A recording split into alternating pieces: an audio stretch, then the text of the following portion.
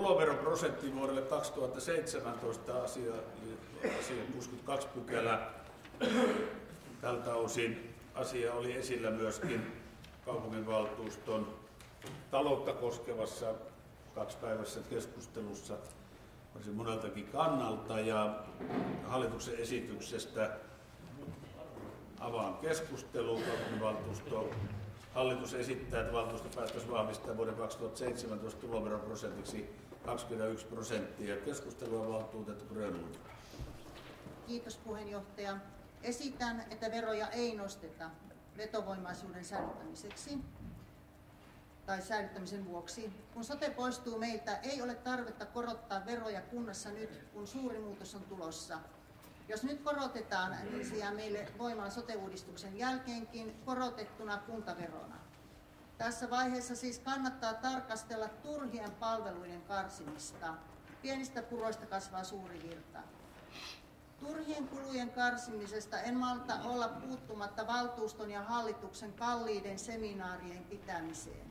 Myös tapahtumat, jotka eivät kohtuullisessa ajassa nouse omille siiville, tulisi lopettaa, kuten Sampia Sampania. Kaupungin edunvalvonnan terävöittämisessä säästettäisiin isot rahat. Varapuheenjohtaja Husu. Arvoisa puheenjohtaja, kokoomuksen valtuustoryhmä on hieman pitkin hampain tämän korotuksen takana. Vuosi sitten käytiin jo tätä keskustelua tarpeesta korottaa veroja, silloin sitä ei tehty.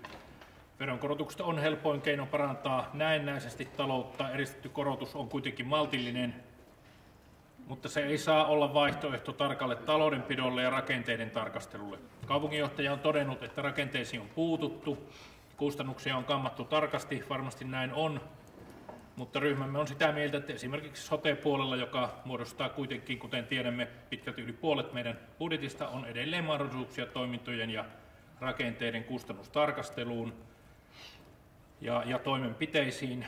Välillä tulee hieman mieleen, että rakenteita ja kustannuksia on tarkasteltu niin pitkälle kuin on haluttu ja uskallettu, mutta olemme hallituksen esityksen takana. Valtuutettu Paananen. Arvoisa puheenjohtaja, talouden ylijäämistä kun puhutaan, ja tuossa oli kiitollisena kuuntelin Raimo Koikkalaisen viestiä myös tuolta Kyssistä päin, että sielläkin on menty hyvään suuntaan, kun ei tule, vaan ollaan siellä ylijäämien puolella, mutta tällainen ylijäämäinen julkisen talouden pyörittäminen verojen korotuksillakin niin tuottaa hiukan ongelmia, koska jos ajatellaan, että talous pyörii ylijäämäisenä, se tarkoittaa silloin, että on kerätty kyllä verot, mutta ei ole tuotettu tarvittavaa määrää palveluita, eli käytetty sitä koko resurssia kaupunkilaisten palveluiden tuottamiseen, vaan on leikattu, on irtisanottu ja on tehty kaikkea sellaista, mikä ei niin kuin ole tuottavaa ja järkevää verojen käytön kannalta. Silloin, jos tällainen tilanne on ja ottaa huomioon vesilaitoksen yhtiöittämisen siitä niin sanotun laskennallisen ylijäämän, ää, niin tällaisissa niin kuin veronkorotuskeskusteluissa, niin minä en näe mitään järkeä. Olen samaa mieltä Risto Husun kanssa, että tarkka taloudenpito ja sen tarkastelu ensisijaisesti tulisi olla niin kuin lähtökohtana ja, ja tuota, niin, niin tämä veronkorotus on mun mielestä silleen ikävä asia tässä vaiheessa, koska näkisin mielellä, että sitten kun verot kerätään, niin niillä myös palvelua tuotetaan eikä hoideta kaupungin taloutta kuin jotain liikeyrityksen taloutta. Eli kannatan Tiina Grönlundin tekemää esitystä. Valtuutettu Keto. Kiitos puheenjohtaja. Tuossa Pasi Paananen ja Risto Husu piti niin hyvät puheet, että en, en sen enempää puhu tähän kohtaan muuta kuin, että kannatan Tiina Grönlundin esitystä, että veroja ei nosteta tässä tuloverossa. Valtuutettu Ruuskanen. Arvoisa puheenjohtaja, pitkät ne on hampaat itse kenelläkin, mulla kun on tekohampaat vielä kaikki. Niitä voi jatkoa. Niin tuota, kyllä eihän kukaan näistä tykkää, mutta on pakkohan se on maksettava nämä viulut, ja jotka ne mun tietää, että miltä puolella ne suurimmat menoerät tullut. Eli meidän pitää ihtemekkiä katsoa peilistä myös hyvää juuvaa sitä, mitä on me sitten ollaan. Eli terveelliset elämäntavat tässä paikallaan itsekin. Pitki hampaa myöten me ollaan hyväksymässä. Valtuutettu Koikkalainen. No joo, jatketaan noista pitkistä hampaista.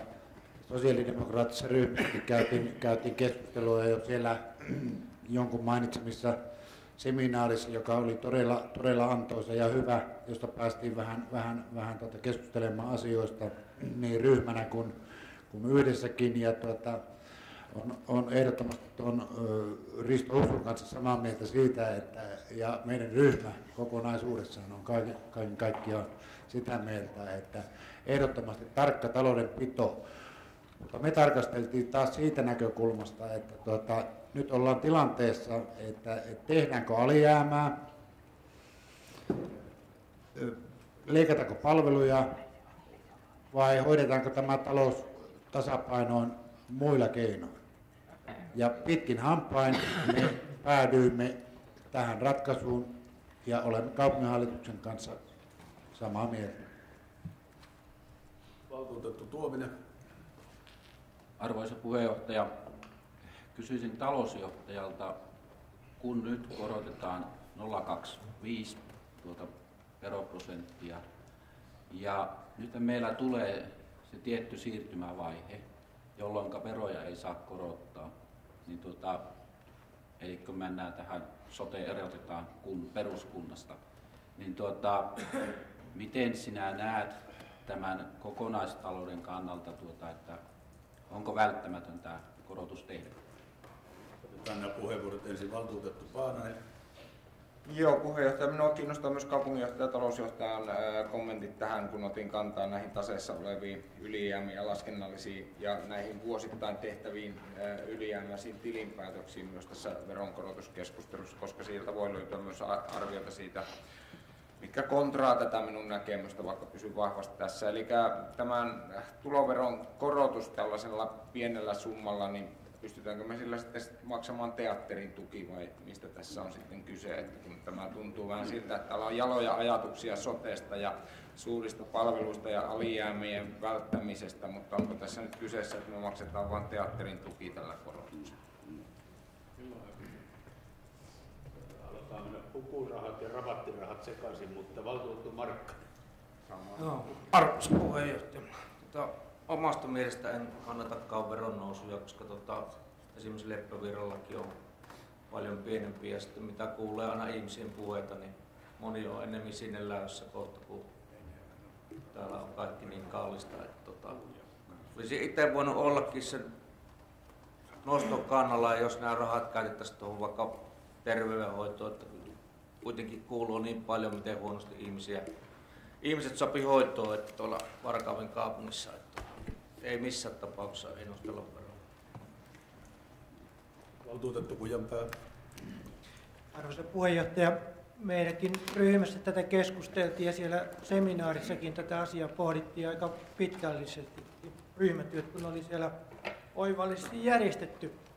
Ja tuota, mekin lähdetään siitä, että palvelutaso ei ole varaa alentaa.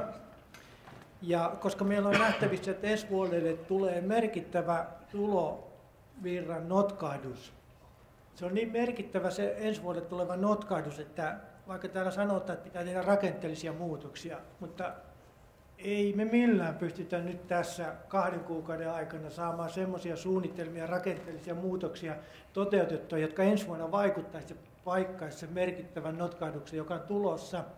Niin siksipä meidänkin ryhmästä ajatteli, että tällä pystyy kuitenkin paikkaamaan sen, että ei tarvitse niitä palveluita alentaa. Me olisi jouduttu muuten ilmeisestikin varmaan tuonne tehostettu palveluasumisen, hoitajamitoituksen puuttumaan, taksojen selvään korottamiseen puuttumaan, jostakin olisi jouduttu kuitenkin saamaan tulolähdettä ja sillä tavalla ajateltiin näin, että 0,25 ei ole niin merkittävä, koska nimenomaan tämä ei edes pieni tulosiin vaikuta vielä tämä korotus juurikaan vero katsoo sitä veroprosenttia, mikä pieni tulosille kohdistuu, niin sehän on yli 12 000 vuositulossa ennen kuin alkaa jonkunlainen veroaste nousta, että tämä ei niin kuin sinnekään vaikuta, vaan että nyt otetaan niin kuin ja rikkaammalta taholta tämä suunta.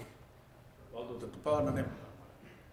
No, tässä Kujanpäin Markulle tiedoksi meillä on budjettivaltuusto tulossa ja talouden tervehdyttämisryhmäkään ei ottanut kokoontua enää eikä tässä näitä tervehdyttämistoimia pitkällä jänteellä edes harkittu, niin nyt sitten hätätapauksessa niin nostetaan tämmöinen nimellinen korotus tänne, niin minun käsityksen mukaan tässä puhutaan sellaista summista, jotka pystytään vielä viilaamaan ennen kuin tuo budjetti lyödään kiinni.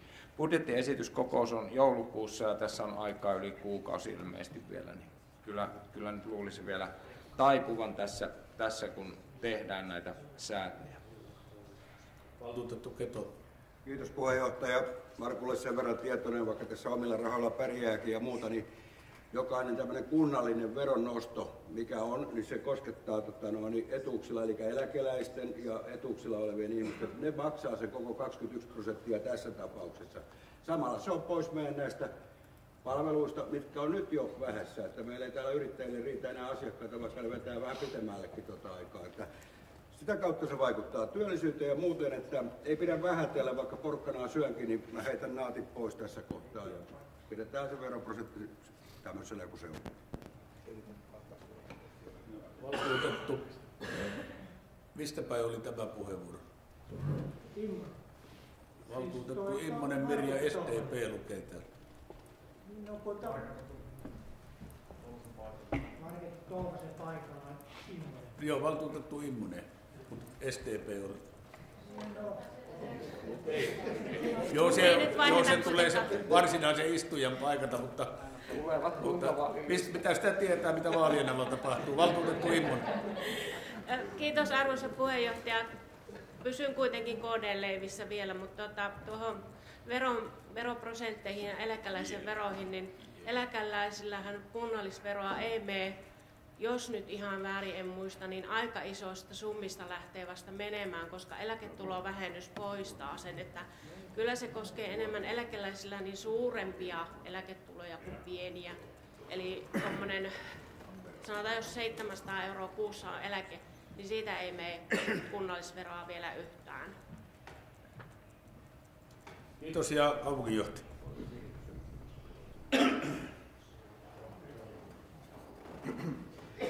No niin, arvoisa puheenjohtaja, tässä kun kuuntelee näitä teidän kommentteja, niin jotenkin tulee, tulee välillä mieleen se, että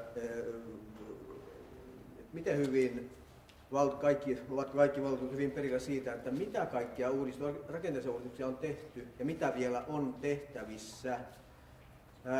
Perussuomalaiset, te tuotte esille hyvin usein tätä, että ei ole tehty, ei, ei ole tehty säästöesityksiä, ei, ei karsita oikeista asioista. Meidän tilanne on se, että yli kolme miljoonaa ensi vuonna häviää tulot. Mistä se otetaan? Sitä ei oteta teatterin 400 000 euron avustuksesta. Toki siitä päätetään joulukuussa. Se ei riitä. Mistä ne otetaan? Olen tätä kysynyt teiltä, ei ole tullut mitään vastausta. Tätä yleistä vaan, että ei ole säästetty, ei ryhmä ja niin edelleen. Kokoomukselle haluaisin Risto Husun puheenvuoron sanoa, että en muista kyllä, että kokoomus olisi ollut eri mieltä näistä, näistä säästöistä. Että kokoomus olisi esittänyt jotain, jotain sellaista säästöä, mikä olisi hylätty. En muista sellaista. Soisalon työterveys tulee meille käsittelyyn vasta, vasta joulukuussa, mutta kyllä me yksimielisesti olemme päätöksiä tehneet. Et siinä mielessä vähän ihmettelen tätä, tätä Risto puheenvuoroa, mutta noin sitten vielä näistä rakenteellisista uudistuksista. Me olemme tehneet kouluverkko- tai päiväkotiverkko-uudistuksia, niin ne jos mitkä ovat rakenteellisia uudistuksia. tekninen toimi, sivistoimi pysyvät talousarvioissaan. Tämä korotus ei mene sinne sivistystoimeen tai, tai teknisen toimeen, ne pysyvät talousarvioissa. Kyllä ne menevät sote-palveluihin. Eli, eli siinä mielessä tuo väite tuolla ei, ei, ei pidä kyllä paikkaansa. Mitä rakenteellisia uudistuksia voitaisiin vielä miettiä? Terveyspuolella olemme tehneet paljon, paljon muutoksia. Siellä vuodesta on vähennetty ihan merkittävästi. Se on merkittävä rakenteellinen muutos. Tämä kunnan kotiselvitys, jota täällä kyseltiin, se tulee meidän toiseen talous, toiseen käsittelyyn se selvitys. Ja tästä olemme, olemme sopineet. Tehdäänkö sitten koulu tuonne Kankkuun, Kankukoulu, se selvitetään ja katsotaan, se on rakenteellinen uudistus Sosiaalipuolella on jonkin verran ostopalveluja, joita minusta, ja olemme puhuneet siitä, jotka voisivat olla omana toimintana kenties edullisempia. mitä muita rakenteellisia uudistuksia täällä pystytään enää tekemään. Kyllä ihan oikeasti, niin kuin tuohon olen kirjoittanut, niin ne on nämä, tämä meidän korkea työttömyys, työllisyysmenojen, työllisyyden, työttömyyden alentaminen, työllisyyden nostaminen ja työmarkkinatukien saaminen alemmaksi ja henkilöstöjohtajan toimivaltaan kuuluva työhyvinvoinnin kehittäminen, sairauspäivän vähentäminen. Kyllä ne tässä ne meidän keinot oikeasti ovat. Mielelläni otan vastaan, otamme täällä vastaan teidän esityksiä ihan mistä tahansa muista, mutta aika rajoitetut on mahdollisuudet. Kiitos. Kiitoksia. Ja tässä välissä voidaan ottaa myös talousjohtaja Pitkäsen puheenvuoro. Jatketaan sitten näillä muilla. Ole hyvä. Kiitos arvoisa puheenjohtaja. No todella meidän verotulojen eh, ennakoidaan niin kuin alenevan ensi vuonna 2,3 miljoonaa. Ja siihen vaikuttaa juuri nämä kilpailukykysopimuksen vaikutukset. Ja jos tuota, vaikka hyväksytään tämä 0,25, mikä nyt on noin 900 000 meidän verotuloissa, ja vielä vaikka nämä kiinteistöveroprosentitkin, niin meidän verotuloarvio ei ole kuin 40 000 euroa isompi kuin tämän vuoden verotulot. Eli se on 0,1 prosenttia se verotulojen niin kuin muutos. Ja jos ajatellaan, niin meidän talousarvio on todella tiukka. Siellä esitys, siellä ei ole toimialoilla kulut kasvaneet, toimintakatteet kasvaneet. Ja meidän palvelutarve kasvaa koko ajan. Kuten äsken sanoin, niin meidän menot kasvaa nopeammin kuin tulot. Mikki Grönlund. Kiitos puheenjohtaja. Tuossa just puhuttiin noista, noista, noista verotulojen pudotuksesta tai, tai alenemasta 2,3 miljoonaa euroa ja osa siinä selittyy tuolla kikyllä. Mutta kukaan ei koskaan puhu, että paljon me saadaan säästöjä niistä palkkakuluista. Sanotaan, että 0,1 prosenttia verotulojen muutos on, niin tässä täytyy nyt vain sanoa, todeta, että ei ne suuret tulot, vaan ne pienet menot. Valtuutettu Keto. Kiitos puheenjohtaja. Nyt kun nuo perussuomalaiset pääsi esille, niin kyllä mun täytyy ihan itse sanoa, että mä oon tästä puhunut sitoutumattomana eh, Hannulle, ja että meillä ei ollut näitä talouden terveyttämisryhmiä, missä näitä keskusteluja oltaisiin voitu käydä niin kuin takavuosina. Se oli hyvä, että tämmöisen aikoinaan asetettiin. Nyt ei ollut, sitä on oikein vaikka saada varmaan kasaan niin kuin elinkeinoryhmääkin nykyään. Että kyllä, jos näitä keskusteluja ei käydä, jos ei näitä käydä, niin ei nämä valtuuston kokouksessa enää niitä ehdi täällä esittää ja tehdä valmistelutöitä. Että olisi ollut hyvä olla ennen tätä ainakin tätä veroprosenttikokousta ja tätä, näitä asioita, niin tämä talouden terveyttämyryhmä ja käynyt se asia. Siinä olisi ryhmät ollut kasassa ja olisi jotain saatu ja hallituksen kautta tullut se esitys sitten, kun sieltä olisi tullut ne tiedot. Mutta niin kuin Hannu sanoi, että sinä teet oman esityksesi ja nythän me ollaan se nähty. Ja siihen nyt ollaan tehty vastaesityksiä ja kannattaa. Ei siinä sen kummallisempaa. Muuten kommentoi, mutta elinkeinoryhmä on kokoontunut aina kun on ollut tarvetta. Siinä ei ole ollut ongelma. Ja sitten valtuuttu Paanu. Joo, arvoisa puheenjohtaja, tässä on käyty keskustelua tosiaan tuolla sivistyslautakunnassakin muun muassa harjoitusjäähalli ja siihen liittyvien kustannuksia yli 200 000 euro säästöistä silloin jokunen vuosi sitten. No silloin ansiokkaasti Jorma Saastamonen otti pallon ja lähti viemään sitä asiaa eteenpäin, ettei nyt ihan kerralla kiinni laiteta. Sitten jos ajatellaan näitä tukien maksuja ja, ja, ja sitten toimitilojen vuokria tai tämmöisiä käyttömaksuja, niin sieltä ehkä ei ole silleen nostettavissa näitä, näitä asioita, mutta ajatellaan nyt vaikka nämä valtuustoseminaarit, pieniä, pieniä menoja, mutta puhutaan varmasti tänä vuonna, kun hallituksen seminaarit ja valtuustoseminaari Järvisydämessä lasketaan, niin kyllä mä veikkaan, että siinä on kustannusta 20 000 estä enemmän kuin että olisi omissa tiloissa järjestetty tällaiset seminaarit, koska on tällainen tiukka tilanne. Ei tällaiset veronnostot ihan tällä tavalla vaan mene. Samalla jos lähdetään puhumaan teatterin tuesta ja näistä, meillä on Varkaudessa toimivia yksityisiä yhdistyspohjaisia teattereita, jotka toimivat kyllä täällä silloin, jos tämä tämmöinen niin teatterin tuen maksaminen ja nämä tulevat tapetille.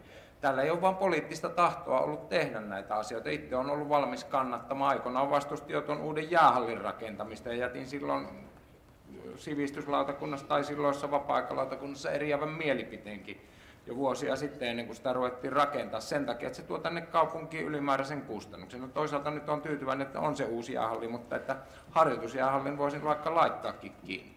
Mutta nämä, nämä asiat tietysti, kyllä näitä meillä on esitetty ja tuolla lautakunnassa käsitelty, mutta tämän pidemmälle ei ole päästy. Mutta mä toivon myös, että johtaminen, tietynlaiset uudet johtamismenetelmät, uudet energiaratkaisut, näitä otettaisiin investoinnissa huomioon, koska ne on sitten siellä tulevassa niin kuin, ää, käyttökustannuksissa tai niiden halpuudessa, niin ne näkyy sitten siellä. Mutta kun täällä rakennetaan nyt Walterin koulu ja siinä ei ole muun muassa tämmöistä modernia aurinkoenergiaratkaisua, joka keväällä toimii silleen, että kun aurinko lämmittää luokkatiloja, niin se energia otetaan talteen ja käytetään jäähdytykseen tai muuhun siihen ilmastointikoneiden pyöritykseen. Nyt se sähkö ostetaan ulkoa ja näin, näin poispäin mennä.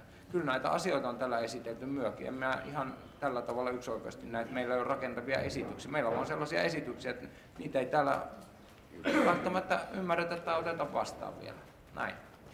Kaupunginvaltuuston tärkeä työ ylimpänä päättävänä elimenä on käydä asioita läpi. Sen takia valtuusto istui kaksi päivää ja siellä valitettavasti ei näkynyt eräitä valtuutettuja miettimässä meidän yhteisiä asioita. Siitä, siitä olen pahoilla. Mutta jäähallin osalta tunnustaudun syntiseksi kyllä. Se ratkaistiin ääntämennessä tasan täällä puheenjohtajan eli minun äänellä. Valtuutettu Tuominen. Arvoisa puheenjohtaja, kaupunginjohtaja perusteli hyvin tuota sitä, tätä 025 ja en ole sitä estämässä. Mutta tuo, kun meidän pitää katsoa niin kuin kaksi vuotta eteenpäin, niin tuota, mä kysyin sitä, että nähdäänkö, että minkälainen korotuspaine meillä on vielä ensi syksynä, jotta selvitään sitten sen kahden vuoden jakson ajalta, kun sote irrotetaan. Niin tähän, tähän pyytäisin jonkinlaista vastausta. Valtuutettu Peltola Kauppinen. Niin, kiitos herra puheenjohtaja. En, en malta olla puhumatta tässä, kun tässä tuli, että tämä jos teatteriavustukset lopetettaisiin lopetettaisi tai vähennettäisiin, siitä se sitten meidän tämä Varkauden talous kääntyisi ihan suorastaan nousuun, koska itse on siellä vapaaehtoistöissä ja mä näen niitä ryhmiä, mitä tulee tuolta meidän naapurikaupungista. Ihan kuka vaan siinä voisi ninä päivinä perjantaisin, lauantaisin, jopa viikollakin käydä kulkea siitä ohitse, niin näkee ne linja-autot, mitä siinä pihassa seisoo. Ja ne ihmiset yleensä syövät sitten tällä paikkakunnalla, ne jättävät tänne rahaa, käyvät, käyvät ostoksilla ja meidän teatteri on niin hyvässä maineessa, että se, jos tässä kaupungissa muuten on niin asio, asioita ikävästi, on työttömyyttä ja muuta, niin tämä teatteri ja meidän teatteriesitykset, niin ne tuovat meille todella positiivista mainetta.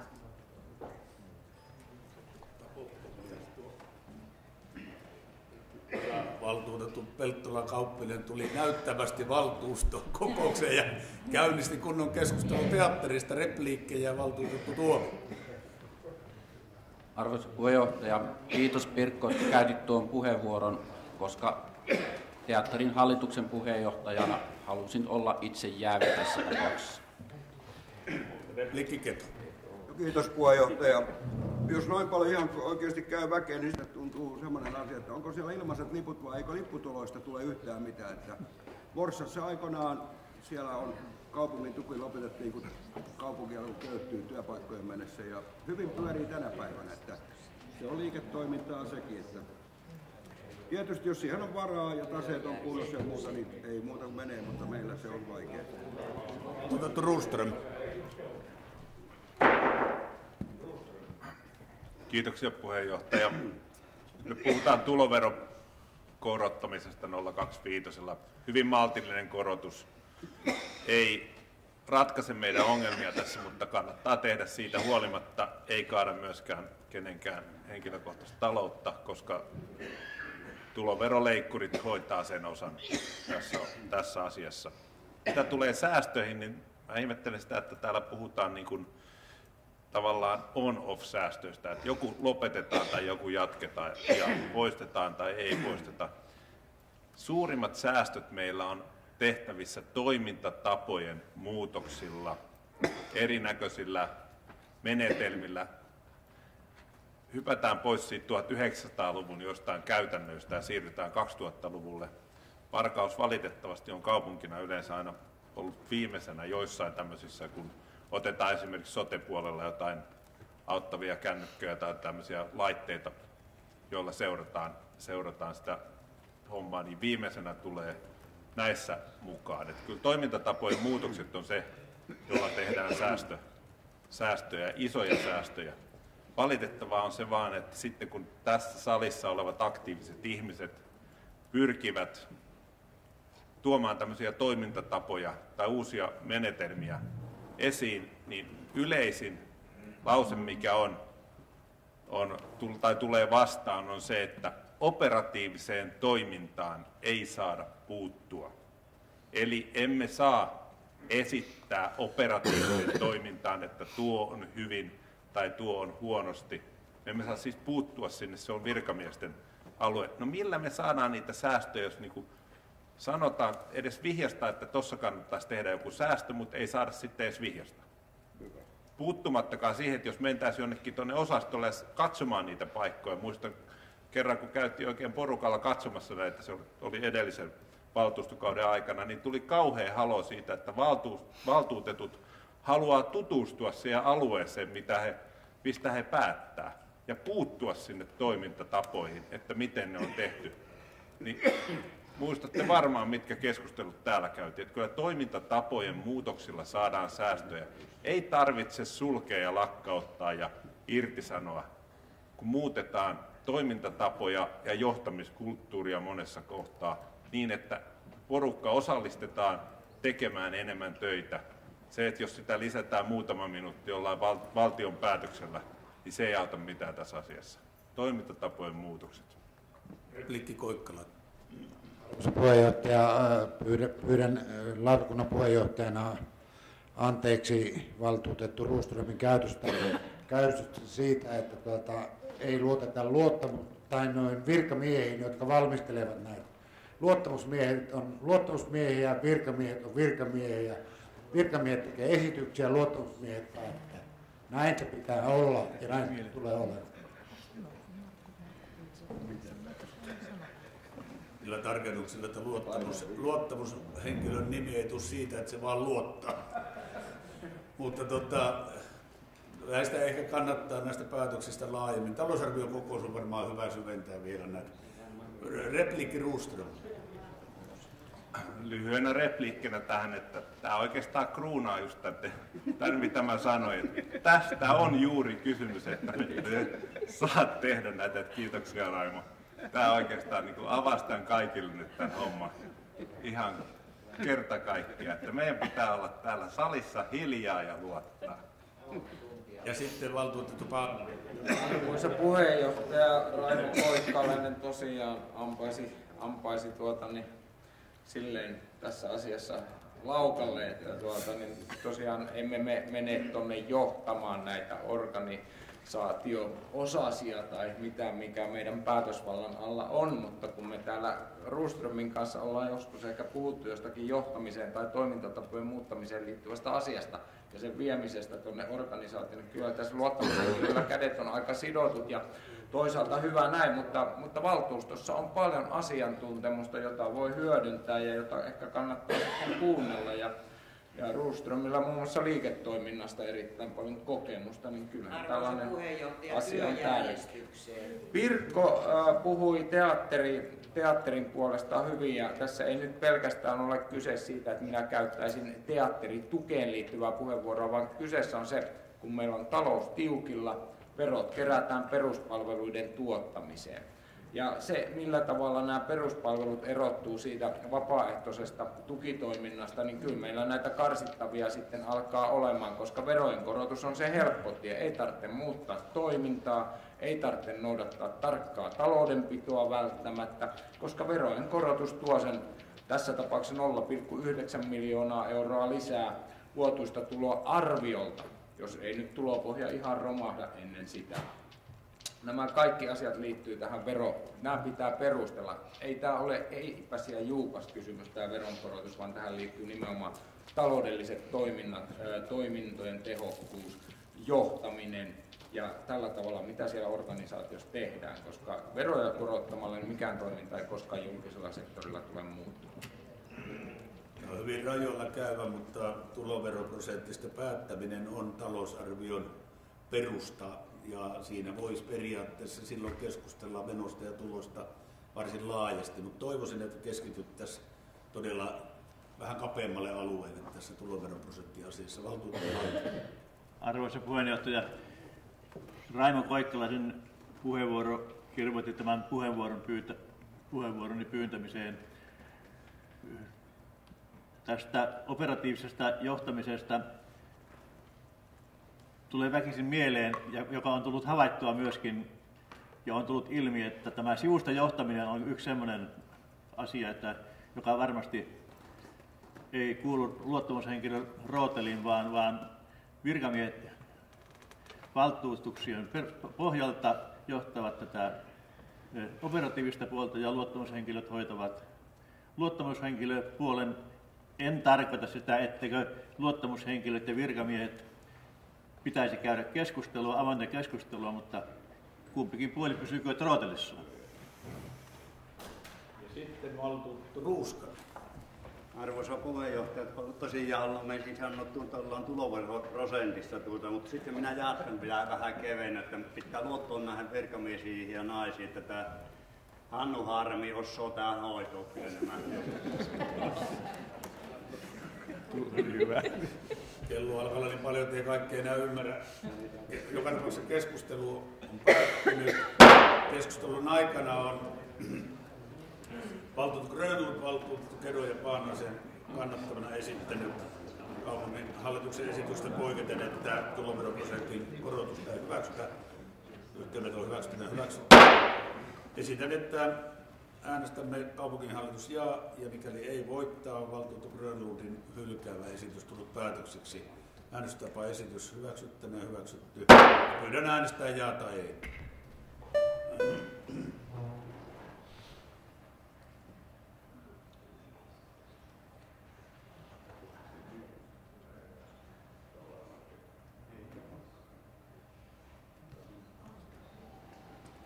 Äänestyksessä annettu 37 ja-ääntä, 5 ei-ääntä, poissa yksi.